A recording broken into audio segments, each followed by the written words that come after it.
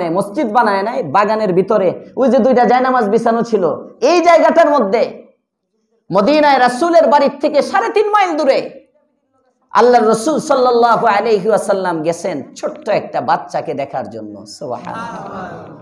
বাচ্চাটার নাম তলহা, বাবার নাম বড় রাসূলের সাথে তো মোহাব্বত কীভাবে হলো? আল্লাহর পয়গম্বরের কাছে আসলেন ছোট্ট বাচ্চা বাবার হাত ধরে। রসুলরা এসে কতক্ষণ বয়ান টয়ান শুনে খুব ভালো লাগছে হ্যাঁ? রসুলকে বলতেছে "এ, আমি না আপনারে অনেক ভালোবাসি। বাপেও ভালোবাসে আমিও ভালোবাসি। শুনে শুনে শুনে শুনে অনেক সময় হুজুরের ভক্ত হয়ে গেছে হুজুরের ভক্ত। চলে যেতেছে।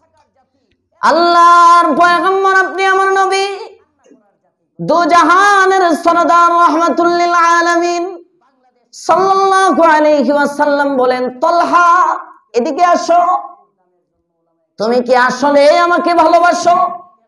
ইয়া রাসূলুল্লাহ, ইয়া হাবিবাল্লাহ, আসলে আপনাকে আমি ভালোবাসি। তুমি আমাকে কেমন ভালোবাসো? আমার বাবার চেয়েও বেশি ভালোবাসি, আমার মার চেয়েও বেশি ভালোবাসি। আমি আপনাকে আমার মায়ের চেয়েও বেশি ভালোবাসি, আমার বাবার চেয়েও বেশি ভালোবাসি। আমার নিজের জানের চেয়েও বেশি ভালোবাসি গো। আপনাকে পয়গম্বর কয়েকটা পরীক্ষা হবে। করেন পরীক্ষা, পয়গম্বর। হাতের মধ্যে একটা নেজা বল্লা বর্ষা বর্ষা দিয়ে বলেন, তুমি যদি আমাকে তোমার বাবার চেয়ে বেশি ভালোবাসো, তাহলে আমি দেখতে চাই। এই যে তরবারিটা তোমার হাতের মধ্যে আমি দিয়ে দিলাম বর্ষাটা তোমার হাতের মধ্যে আমি দিয়ে দিলাম, বল্লমটা তোমার হাতের মধ্যে আমি দিয়ে দিলাম। যাও যাও যাও, তোমার বাবা বাবা, ওই তো দাঁড়িয়ে আছে। আমার মহাব্বতে তুমি তোমার বাবাকে গিয়ে খুন করে ফেলো। তাহলে আমি বুঝব, তোমার বাবার চেয়ে তুমি আমাকে বেশি ভালোবাসো। ভালোবাসো শুধু মুখে মুখে হয় না, কাজ করে দেখাইতে হয়। আস্তে আস্তে বলেন কেন? যদি দেশের দরে দিই হও, জনগণ যা চায় তা করো, কথা বলেন, ঠিক না বেঠি? দেখায় দাও, দেশের ভালোবাসাই তো। হারলে হারবা, জিতলে জিতবা, সমস্যা কি? আল্লাহ বুঝবার তৌফিক দাও, বলেন, আমিন। তলহাইবনে বারাকে পরীক্ষা করতেছে, পরীক্ষা। উনি সাথে সাথে তরবারিটা নিয়ে একটা দৌড় বাবার দিকে। রসুল বুঝছেন, যে বেগে দৌড় দিচ্ছে এই পোলা গিয়ে মেরে দিব। সাথে সাথে ডাক দেয়, "এই, এই, এদিকে এদিকে এদিকে এদিকে আয়, আয়।" সামনে আসছে। তরবারিটা নিয়ে কয় আমি বাপ ছেলের মধ্যে বিচ্ছেদ ঘটাবার জন্য আসি নাই আমি তো জোড়াইবার জন্য আসছি। আমি তোমাকে পরীক্ষা করছিলাম যাও একশো থেকে একশো নাম্বার পায়ে পাশ করছ।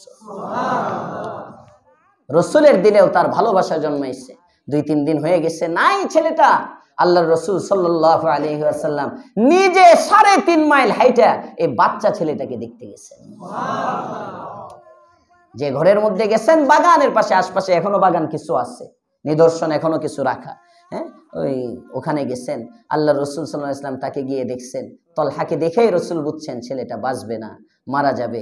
অভিভাবককে আড়ালে নিয়ে আসারে মৌজের হয়ে গেছে। অভিভাবককে আড়ালে নিয়ে বাড়াকে বলতেছে এ বাড়া, তোমার ছেলে তলহার যদি রাতারাতি কিছু হয়ে যায়, আমারে খবর দিও। রাত্রে মারা গেলে রাত্রেই খবর দিবা। আমি নবী নিজে এসা তাকে গোসলের ব্যবস্থা করব। আমি নবী নিজে তাকে কবরে নামাবো। আমি নবী নিজে তার জানাজার নামাজের ইমামতি করব? পয়গাম্বর এটা বলে যায়, ওদিক দিয়ে ছোট্ট বাচ্চা, কিছুক্ষণ পরে ছেলেটার অবস্থা ভালো না। ছেলেটার শরীর আস্তে আস্তে খারাপ হয়ে যাচ্ছে। মুমূর্ষ অবস্থা, মৃত্যু, আজরাইল চলে আসছে কাছাকাছি। জান খানদানি হবে, জানটা বের হয়ে যাবে। জানটা বের হওয়ার আগে বাড়ার হাতের মধ্যে হাত দিয়া ছেলেটা বলে, আব্বু, তুমি আর বাবা, জানি বাবা সন্তানের সমস্ত আশাগুলো পূরণ করার জন্য বেকারার থাকে। বাবা নিজে না খায়া সন্তানকে খাওয়াইতে চায় বাবা নিজের কোনো সুখ দেখে না, নিজে দুঃখী হয়ে সন্তানকে সুখী বানাইতে চায়। ও বাবা, অন্য আর দশটা বাবার দিলে সন্তানের প্রতি যেমন ভালোবাসা। আমি জানি বাবা, আমার প্রতিও তোমার এমন ভালোবাসা। আমি তলহা হয়তো একটু পরেই মারা যাব। মৃত্যুর কোলে মনে হয় ঢলে পড়ব। আমার চক্ষু দুইটা বন্ধ হয়ে যাবে। এই দুনিয়ার জগতে বাবা, তোমার এই চেহারা আমার এই চোখে আর কোনোদিন দেখব না। আমি আমার এই জবানে তোমাকে কোনোদিন হয়তো বাবা বলে আর ডাক দিতে পারব না। তবে আব্বা যান যাবার বেলায় তোমার কাছ থেকে তোমার হাতে হাত দিয়ে একটা ওয়াদা নিতে চাই গো বাবা। এটা আমার সন্তান হিসাবে তোমার কাছে জীবনের শেষ ওয়াদা। আমার এই আশাটা তুমি পূরণ না করে আমারে কবরে নামায়ও না।